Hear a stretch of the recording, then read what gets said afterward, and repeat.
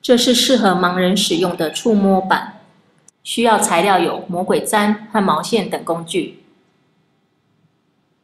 首先在纸板上涂上胶，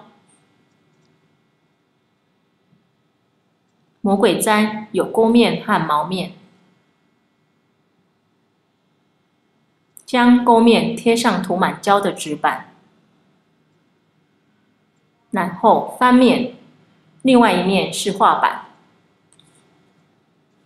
在塑胶底盒钻一个适合铅笔大小的洞，然后再靠近瓶口处再钻一个小洞，在另一边的洞口切一个 V 字形的凹槽，拿一个橡胶滑轮和弯曲杆子，将杆子穿过橡胶滑轮，然后将毛线端绑在滑轮上。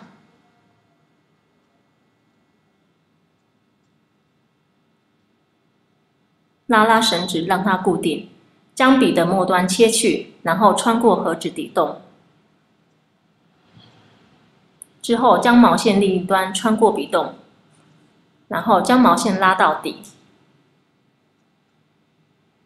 之后将橡胶滑轮固定在盒子上的凹槽，然后它可以像鱼线一样可以滚动，将毛线慢慢收起。之后，将毛线的另一端打结。之后按住笔，然后我们就开始可以滚动滑轮。此时毛线会自动上卷。这时候我们可以用笔画一个恐龙图形。这时候毛线会自动粘在魔鬼毡上面。你可以画任何你想要画的图案。现在我们画一个花。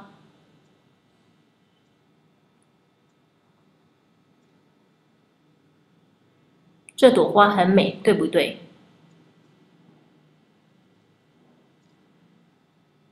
这是可以触摸的板子，可以帮助视盲者学习。